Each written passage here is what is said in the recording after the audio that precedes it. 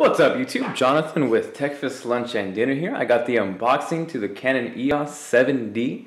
This is an 18 megapixel camera. Uh, currently I own an HV30 which I'm selling to upgrade towards this. So let's go ahead and open it up. Just to cut the little reseal sticker off and then we'll get right to it. Alright, so we open it up. Uh, real quick before I do that, I'm to take you guys through the box. Obviously, you see the camera on the front. Pretty well packaged, nice and clean.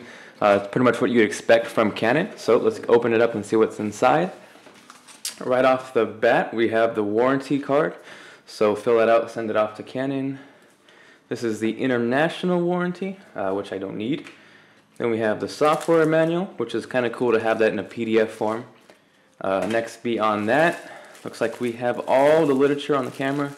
Uh, we'll go ahead and open that up real quick check that out in detail.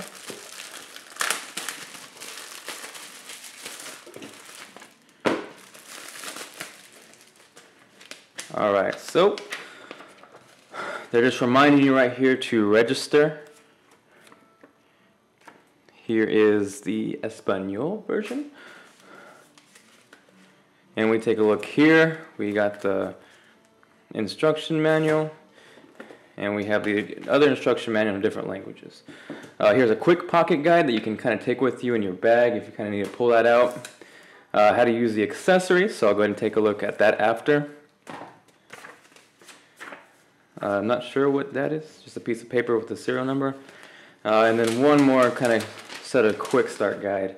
Alright, now we get into the good stuff. Here we have the AV cable. This is going to hook up from your camera to your TV. There you go, see that? Here is the USB cable that's going to transfer your data to your computer, obviously. Uh, the Canon strap, that's pretty cool. And we get to the lens right here.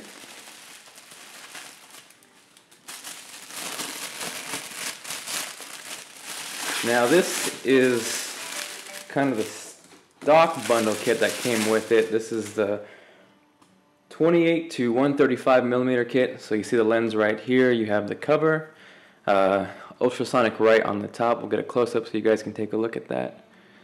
You see image stabilizer, bunch of cool functions. And let's get to the camera itself. Nice little bubble wrap to protect it.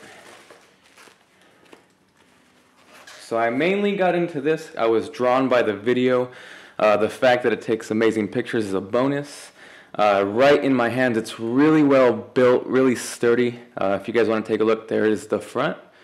Spin it around. We got the back, I already fingerprinted it up, so sorry about that one. There's a top shot of it.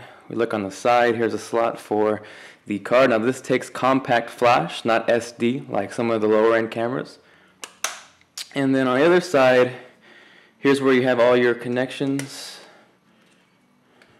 Get that open for you guys. So we have an external mic hookup.